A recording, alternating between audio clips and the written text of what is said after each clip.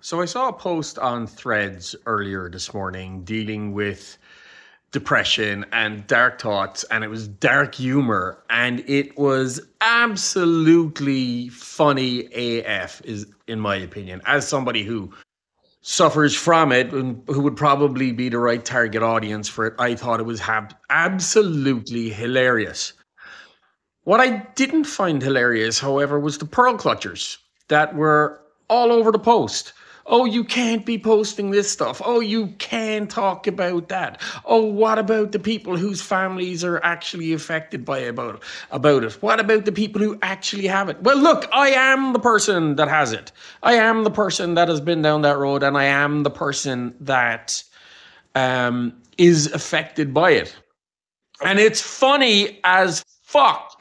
And if you can't deal with that, then get off the internet. Stop trying to control what other people think. Stop telling us what we can and can't find funny. Because the problem with dictating what other people find funny because somebody else might be offended or might be sensitive to it is that everybody, and I mean everybody, is offended by something. And most of the people are offended by something that you are perfectly okay with and you enjoy.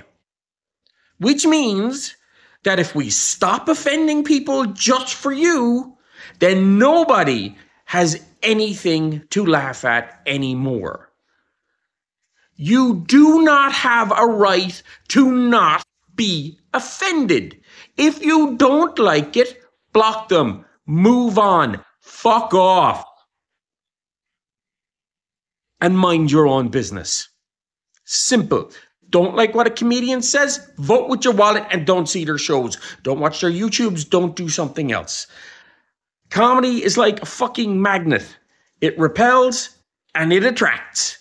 If a particular brand of comedy offends you, piss off and leave it alone for the rest of us.